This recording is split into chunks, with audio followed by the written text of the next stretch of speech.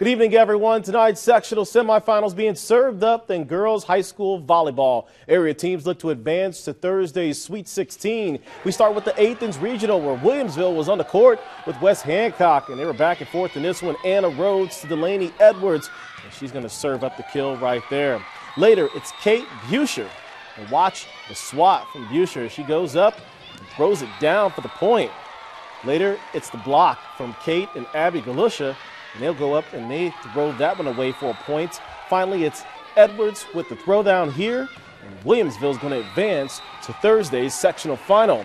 The Bullets get the winner of Pleasant Plains and Dee-Mack. This one was over early. Aaron Bergschneider to Summer Sabo. She's going to throw it down with authority right there. And Plains all excited early on. Then later it's Allie Pankey, who goes up and she scores a point. Plains would drop the first set, though. Second set we go. Sabo again getting the feed, throwing it down for the kill. But Dee-Mack, well, they're really good. And Kaylee Cruzy puts it down for the match point.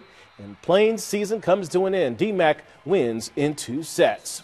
To the St. Thomas More sectional now. Decatur St. Teresa and St. Joe Ogden looking for a spot in Thursday's title game. First set, Carly Barker goes unconventional, but St. Joe gets the point out of it. It works. Later, Casey Cooper for St. Teresa is going to rise and fire and spike that one down for a point. But too much power from Kylie Michael.